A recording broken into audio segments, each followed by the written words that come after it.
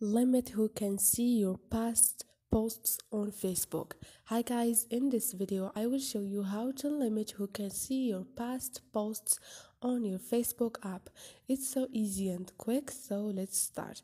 First thing, go to your Facebook app and here click on those three lines up there click on the setting icon beside the search icon scroll down until you find posts and here click on limit who can see your past posts.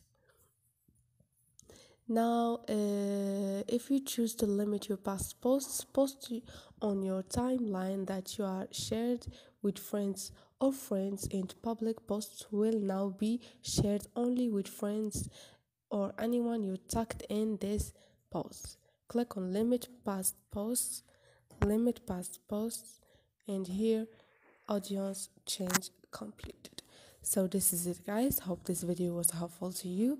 If you like the video don't forget to subscribe and like